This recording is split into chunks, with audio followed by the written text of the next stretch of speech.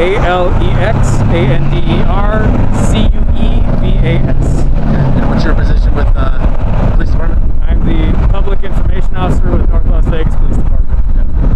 And can you explain the, the scene out here today? Uh, today at about 5.06 p.m., officers were dispatched to the area of Lake Mead Boulevard and North Fifth, which is behind me, in reference to a single vehicle collision. Upon officer arrival, they located the collision.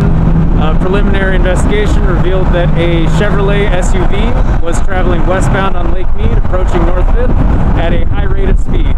For unknown reasons, the SUV lost control and then struck a pole.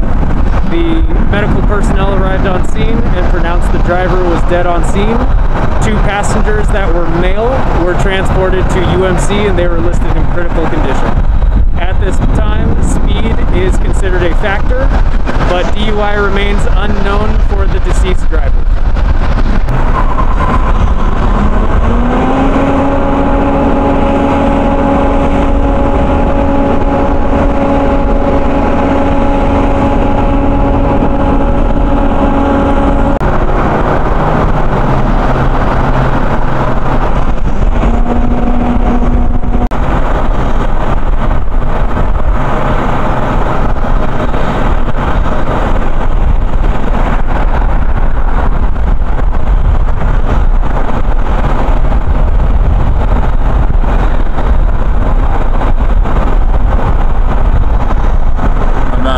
shot right now, Justin, on my other camera.